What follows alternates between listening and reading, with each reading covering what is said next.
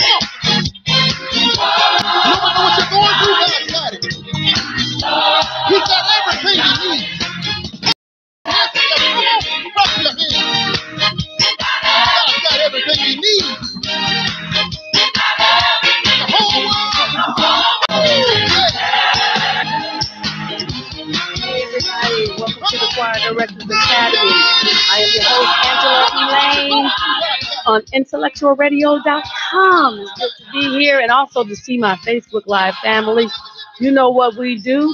Like, share, and tag your friends and let them know that the Choir Directors Academy is on the air. We're so glad to be here. We show choir directing from a different perspective. And we're mentoring the people who are coming behind so that we can have some great directors coming up the line and be able to take on the mantle when we decide to retire. Yeah, one day I really will retire from this job, but I love it. So do me a favor. Thank you to all of those who are out in intellectual, intellectual radio land. Thank you for joining us on tonight. But Facebook, you've been with me from the beginning. You know what we do. Like, and let's get the word out that we are on the air. Want to give a shout out to um, everybody that is out there with us on tonight. We know it's a cold winter night, but everybody, I thank you for tuning in and joining in with me and not letting me be by myself. That is a beautiful thing. Um, I, I was thinking about this subject, and it's kind of different. I realize that it's kind of different, and sometimes people don't necessarily think that there's a lot going on behind uh, the music. They just hear it. You know, you come up with a bump, you come up with a song, you come up with the music, and then we just go from there. But it's a whole lot going on behind that. We don't want to get too technical because then you kind of lose everybody. I want to give a couple of shout outs. I see Annette on here. She has the mind, body, and soul. Thank you for watching and sharing. My mom is out here. Ovita is out here watching. And then I have other people there as well. Can't see your name, so I need you to make a comment so I can give a shout out to you. Um, choir, I, we all we're talking about choir directors, and that's what gave me the idea for this show because um, a lot of times we are not considered, we're not really given the credit that we're that's due, and especially church choir directors. That's one of the main things, reasons why I got started because we don't have we don't have the support system like everybody else. I mean, we're considered technically we're considered like the bottom of the food chain. You got the show choirs, which are doing the Broadway musicals and all of that. Then you have the community choirs, which are the ones we see on the Stellar Awards and all these different venues. Then you do have you have your choir directors, your church choirs, but we're split. You got the ones that are big and popular, and then you have those of us who are doing the everyday work.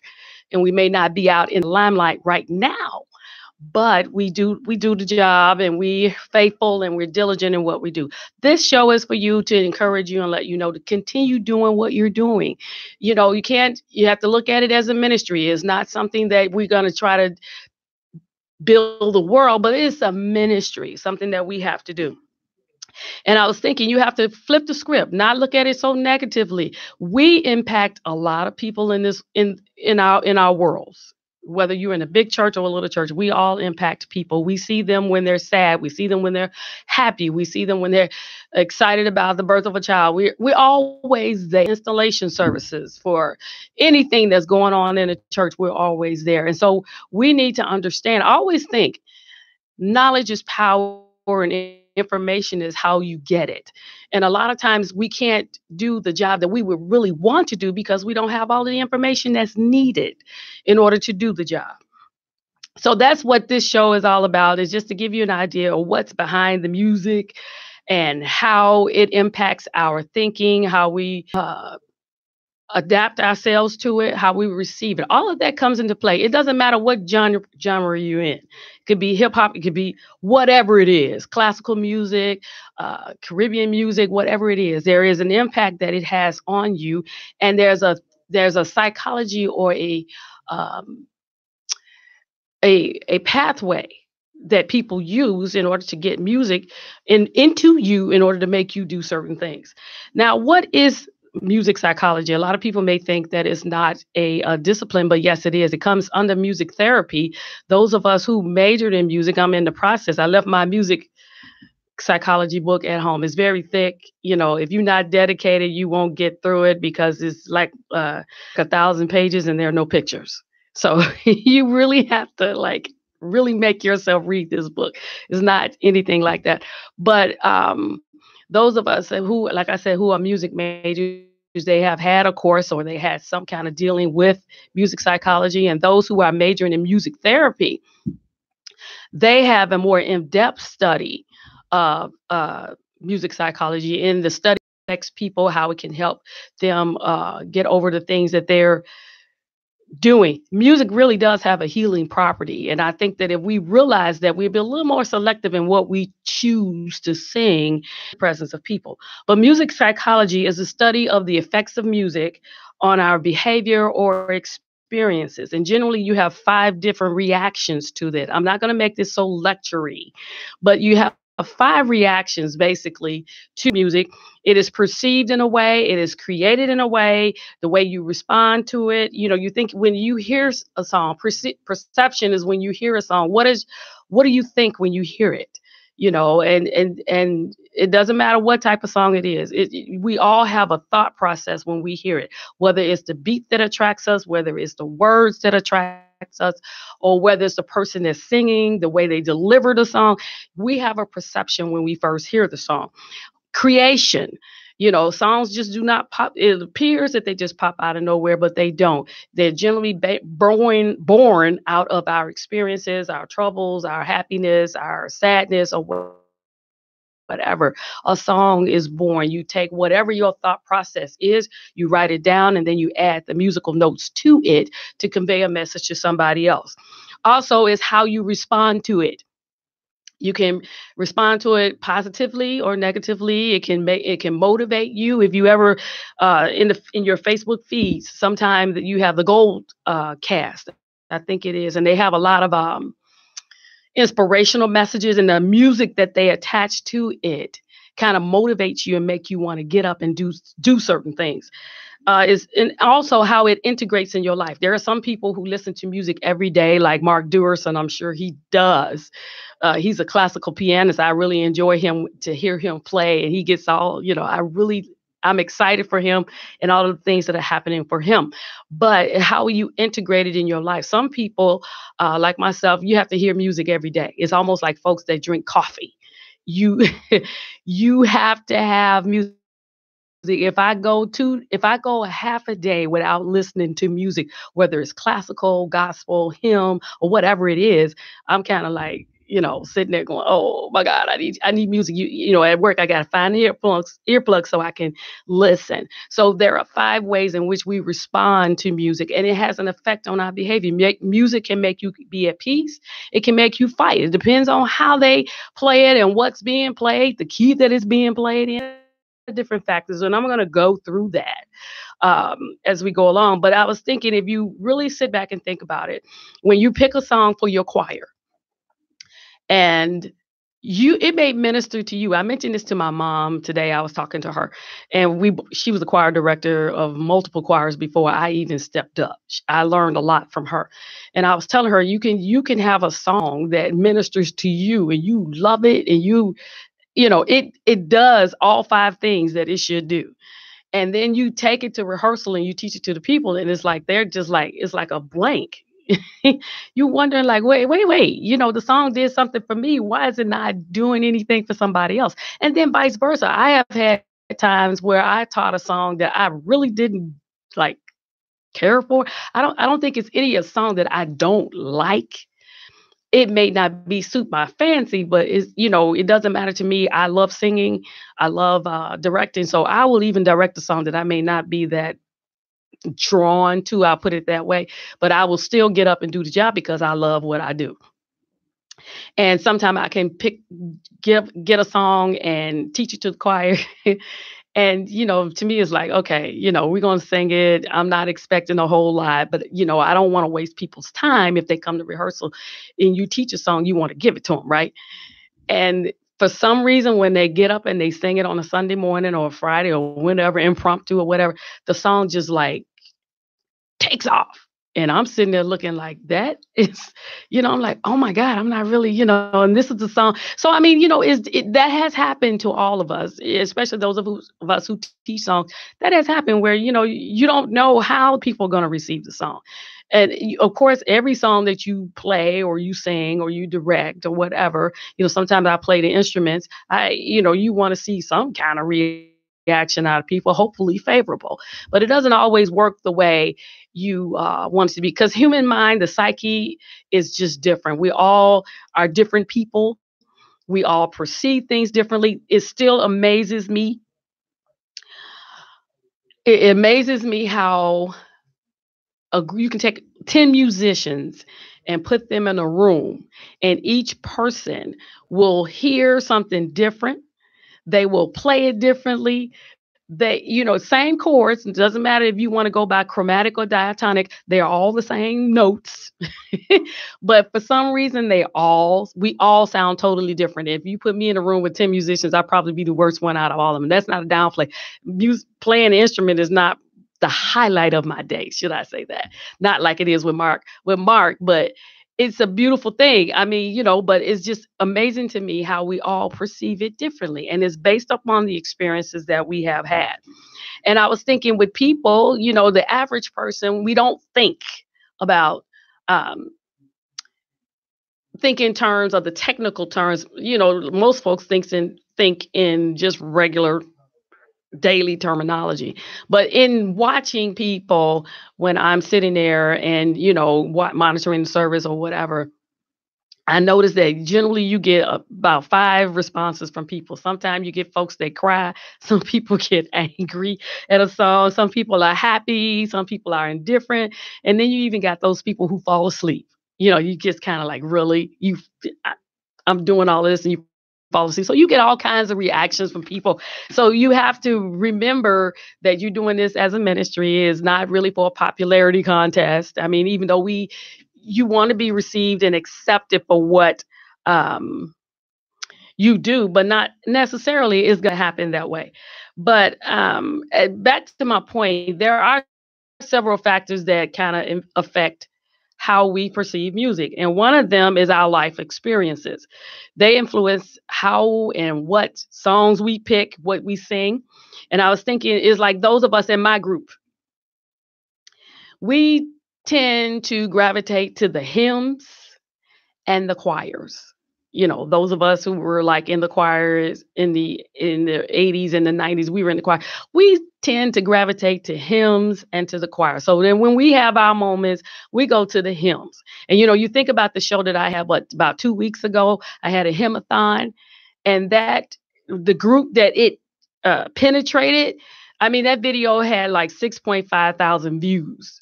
And i was just like wow, you know, people think hymns are dead and people are not listening. Well, that was a farce because I mean, when I did that show, I had no idea it would be received that well. And we do have another one coming. I don't know when, but we're going to have another Hymnathon part two coming. But I mean, for us, we just like gravitated to it. Those who were born in that season, they tend to go more with the praise and worship and with the CCM, the closer you come to 2000, 2010, they're more graph, uh, they're more uh, drawn to um, praise and worship and CCM. And so that's what I'm saying. Your life experiences. People, when we grew up, they were, it was like a mandate for us to know the hymns, to know all of the various genres of songs. That was like a mandate. You you you were just, this is what you must do. Whereas now it's a little bit different everything is um everything is a little bit uh, more open and more celebrate you know celebratory or whatever and ours was more like in the line or what uh, with the message. We focus more on the message. I'm not saying that they don't do that today. I'm not saying that but for us it was more about the words and what was being sung at that time. Um and also the keys that we sing songs in have an impact on what we do or how it's perceived by people. I was thinking, uh, anybody that's ever been to Las Vegas, and yes, I've been there, and no, I didn't do the casino thing. I'm not into that. There's more to do in Las Vegas than pulling the one arm bandit, as my father says. But you know, as immediately once you get off the plane, you're inundated with the the the machines. You can't help it when you get off of the um, plane and you come into the open area, the airport. That's all you hear. But I was I noticed that in some of them now they've changed it, but generally the machines, the slot machines, are playing in the key of C. C major. They are C. What is it? C E G. They play in this. They used to. I don't know what they're doing now. I heard that they don't do that now. I haven't been there so long. I haven't heard one so long, so it may have changed. I don't know. But at that time, they it in that key because that's considered a happy key.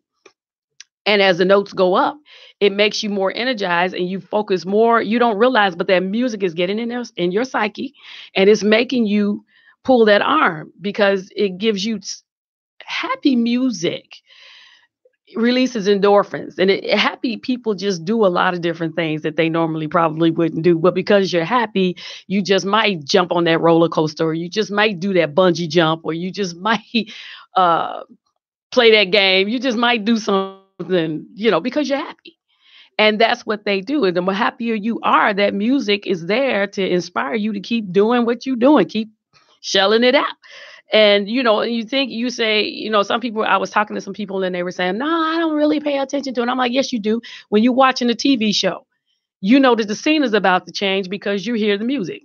They change it, and then you know they're going from one scene to another. The people who write the music for those shows, they understand that that they want you to pay attention and know what's going on. They may not say they're not going to stand there and say Act Two, Scene One. Psh, they're not going to do that. The music tells you that that they're getting ready to change. Law and order. We hear that thunk that they always do. We know that sound when you hear that whatever it is. Dun-dun, you know that's law and order. I don't care which one it is. CSI, what is no is uh the original Law and Order. You got specials. You got so many of them. I don't know. Trial by jury. I don't know. But when you hear those, you automatically know that's Law and Order.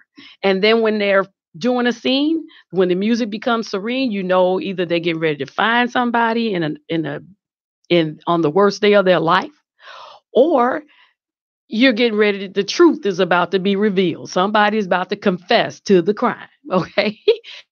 so you music impacts you. You can sit there about the commercials that we hear, the jingles that they have. I remember um, when I was young, when I was a teenager, they had the Empire commercial. Some of you out there remember that, um, where it says, well, um, was a 588 2300 Empire. It, it doesn't matter where you were in the house, where you were in the street. I don't care what city you were in, what country you. When you heard that, you know they were talking about this man with these big glasses on, and he lays down flooring and carpet, and he might do some window dressing. you know, so that music they do that, and I was thinking they. I was I had a chance to talk to some people that um, do the commercials, so like McDonald's and they were like, that is what they sit around and do. They make sure that music captivates you.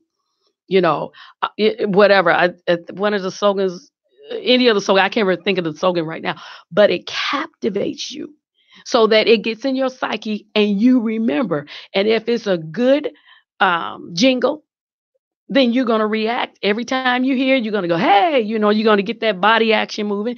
And if they're talking about shelters and you know the animals need a home then it's going to make you more melancholy and more sad. I mean it's and either way it goes whether the song makes you happy they want the purpose is to get a reaction out of you to get it in your psyche that you always remember and I know I'm getting kind of technical, but I'm getting to the other side. Trust me, we're going to cross over Jordan River and get to the other side. But they do that purposely because they want you to remember so that when you walk outside your house and you're hungry, you think about McDonald's or you think about whatever eating place, Papa John's, or you think about Giordano, well, whoever it is. They're the first thing that comes to your mind because that's how we are. Whatever we buy, we go to Walmart because they keep if if they don't advertise, and if one of you go to a restaurant, if you don't tell somebody else about the restaurant, I won't know anything about it, right? I, I mean, I won't know. But if they put the commercial in front of me and keep telling me that this Porsche is is the best car in the world, well, guess what? After a while, I'm going to start believing that's the best car in the world. And then what? I'm going to save my nickels, dimes, and quarters, and I'm going to try to get that car because that's what I think. Um, let me go back and uh, and read some of these comments. I want to do a couple of shout outs. Let me get this get to this. Um, I did Beatrice Raphael, um, and that says, uh, wow, that's good to know. Slot music in the key of C. uh, Mark, you can confirm that you and Professor John Harry, good to see you. Christopher, good to see you. Beatrice says, sometimes when I go to the movies, I remember the score and not more than the movie. And that's true. That's what they do. You remember, and that's why they people get awards, Tony Awards, Grammy Awards for the musical score, because that's what makes the movie. Anybody seen that movie Gladiator? The music alone, especially when it starts, and Caesar he's out there, he's on, he's um, getting ready to go into battle. I remember this because I love the music. It's it's very majestic, and and he tell, he's telling them to hold the line. They're fighting a war. He's telling them hold the line, hold the line, and the music just goes along with the horses galloping and everything, and it just captivates you. That part captivates me every time I watch it. And I think I've watched that movie 20 times. But it's the music that captivates you. So that's a very good point, Beatrice. It really does. And that's what a lot and psychologists know that. I know Annette is watching, but psychologists know that. and they use that to get you to do. And like I mentioned, um, I think last year sometime I was able to watch a video of music therapy uh, where an older gentleman was confined to his wheelchair and what they did was they got the music that he was accustomed to listening, just like I listen, we listen to hymns and whatever. They got the music that he was accustomed to. And it was amazing. After him listening to that for two hours, he actually got up and started walking like nothing was ever wrong with him. He identified with that music. That was what was in his spirit, and that's what he identified with. And he became, he got up and started moving around. He started with the walker, but by the end of the couple of hours or so, he was up walking like nothing was ever wrong. So music is impactful, and that's what my all of that I said was to get you to the point to realize that the music that you select for your choir to sing is very important. It, don't take it lightly and say, oh, well, we're just going to get up and sing this song. It really doesn't matter. No, it really does because somebody out there may need it. And I was thinking not long ago, uh, one of my friends, their mom passed, and they called me and they said they wanted me to be over the music for her service. Well, you know, I'm I had hoped to be sitting in the audience, you know, kind of like getting myself together. But then they said, no, we need you to do this. And, you know, this is what I'm telling you. You have to be in tune with what's going on and the and think about the best way. Music uh, it, it, i had to perceive what was going on in the service create an environment in the music because the choir is just following and the musicians whatever you say that's what we're doing because we don't know what's going on. Okay so it, it was all on me to come up with a plan. They gave me two songs and you come up with the rest. But in in singing the song, they gave me one, but then I also understand people. When you're in a service that of that type of homegoing service, everybody is not in the choir for the right reason. So you got a mixed multitude. You got those who really, really sing, who are there because they want to sing. You got those who like to sing. I'm singing because you told me that I had to be here. And then you got those who can't find a seat in the audience. So the best place is in the choir stand. Yeah, we have those too. I know you, you you see this big mass choir. Unless they shut it down, you got people in the choir because I can't find another seat. So I'm gonna sing in the choir today. Anyway, the the song that they requested to sing coming in, knowing the burden that they were carrying, for me to sing it at the tempo and I got a mixed congregation of people, I realized that that was not the right thing to do. Sing that song, but I had to get the tempo, have a more upbeat tempo, tempo to the song. So they wouldn't focus so much on what's ahead of them. I knew that the, that the music would minister to them. And they're all musicians. So if I keep it kind of upbeat, it'll help them get through the service and be able to at least have some kind of composure. And then Eh, because the family is of a mixed, you know, they got young and old.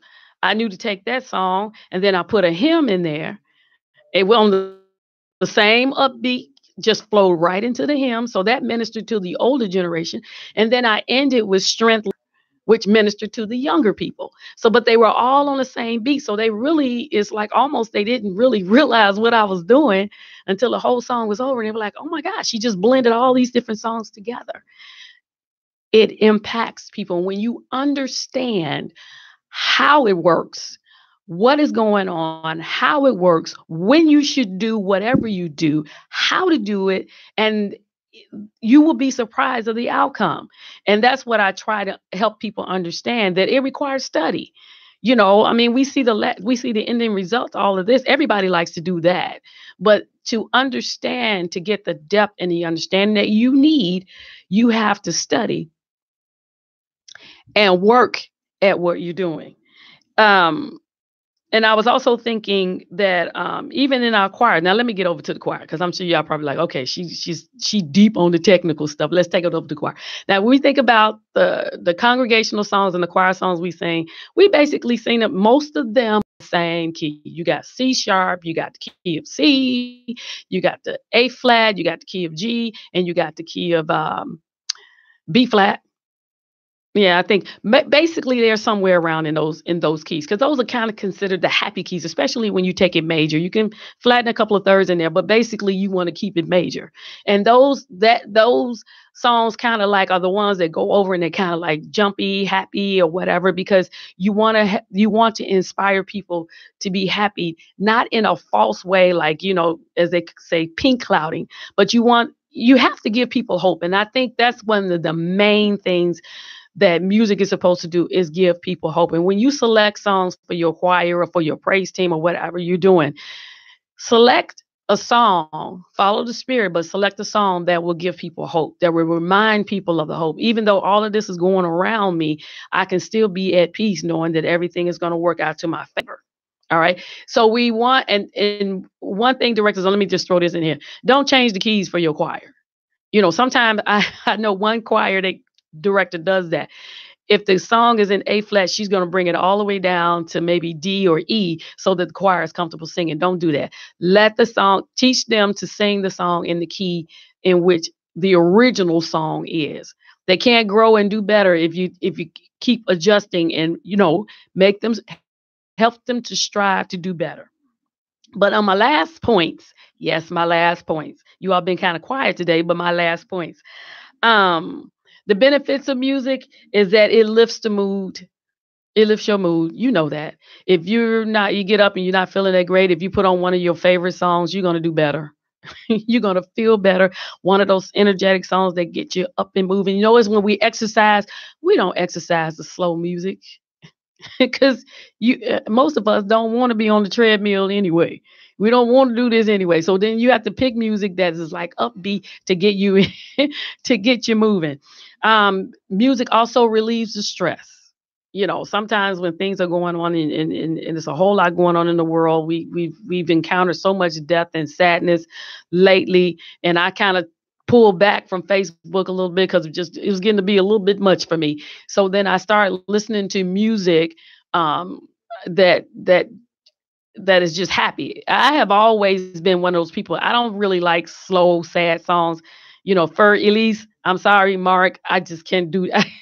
that song is too sad for me. I cannot. It has to be something that's just like upbeat and jumping and I'm running around. That's just me. You know, everybody is different, but it lifts the mood and it also relieves the stress of whatever you're going through. A good song will really lift your spirit. A good hymn will lift you spiritually when you're going through some things.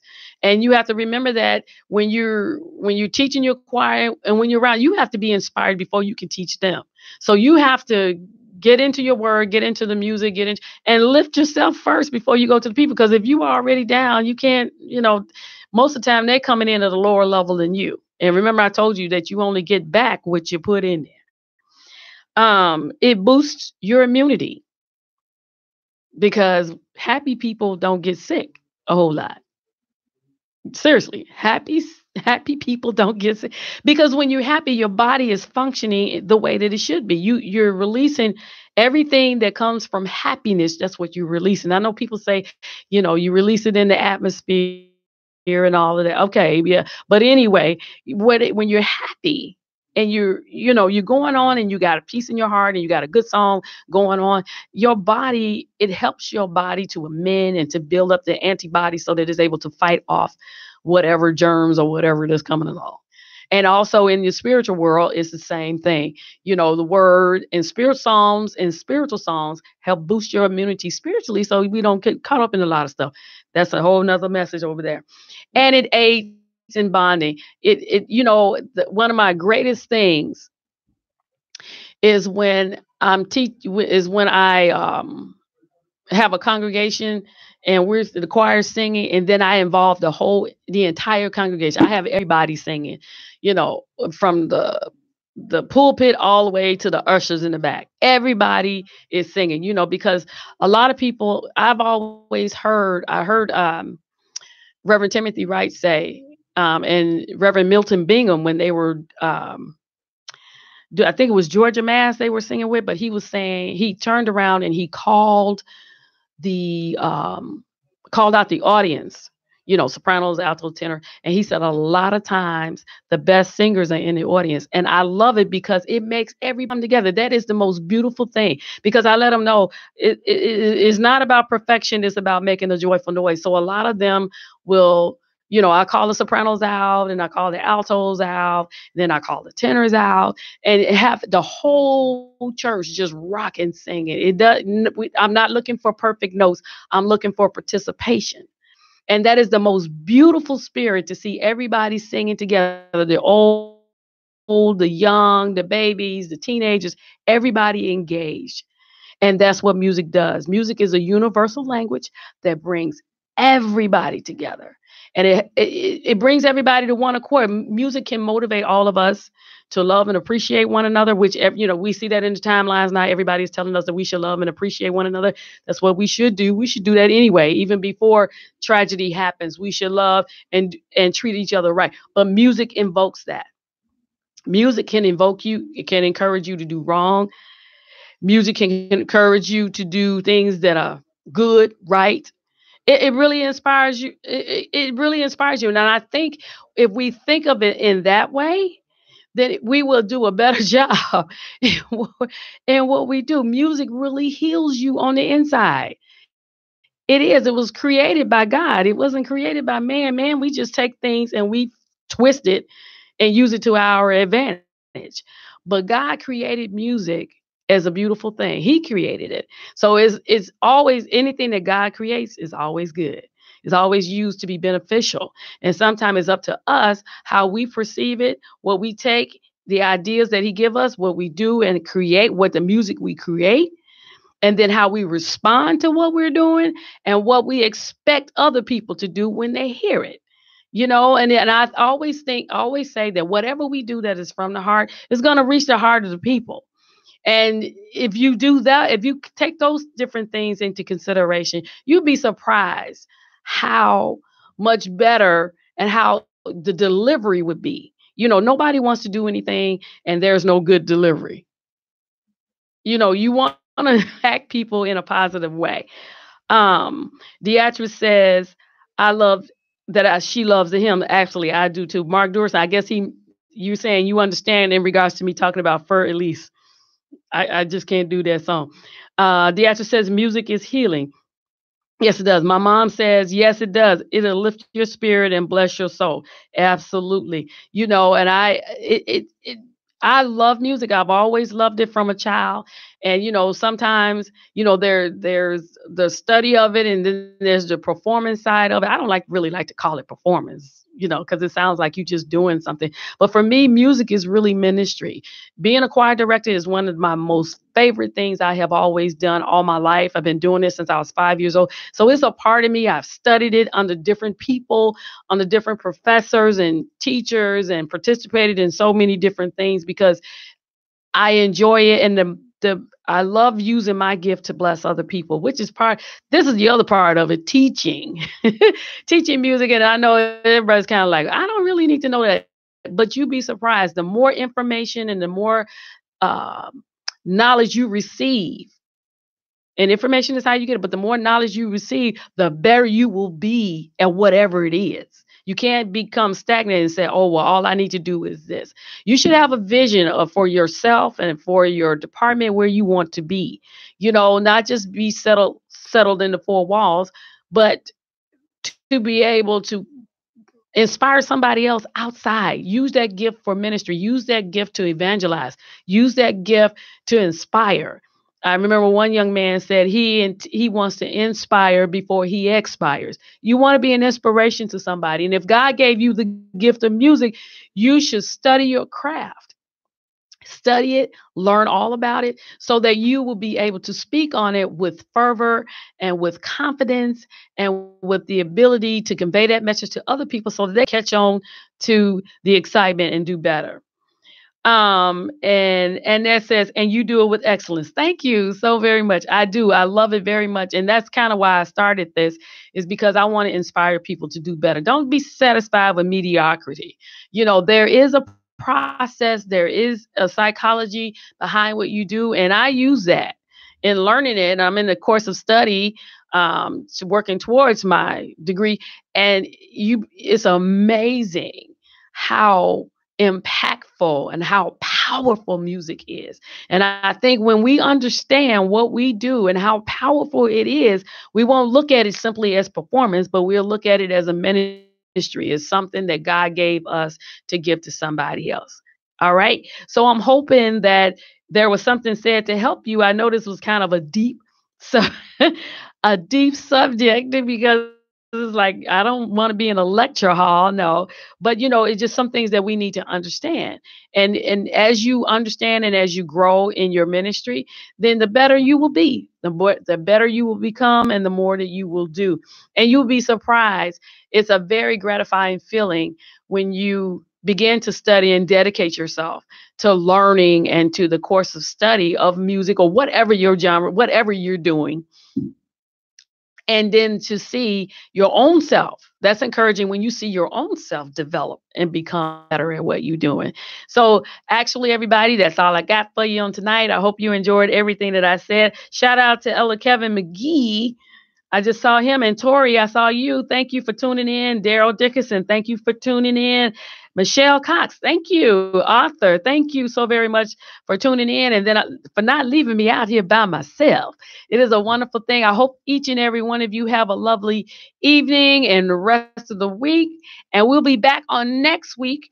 We'll be talking about vocals Yes, tuning that voice up. I see. Oh God, I can't. Okay, I don't want to get started on it, but I'm just gonna try to give you some vocal tips, some new ones that I learned, because uh, I hear too many choirs screaming because the music is out, but they're screaming, and screaming is not the right thing to do with this beautiful piece of beautiful instrument that God created. Love you all. Thank you for tuning in with me. It's been the best. Thank you. Peace to everybody. Love, peace, and soul. Bye. Come on, put your hands. Come on, we just want to let you know today that God has the whole world.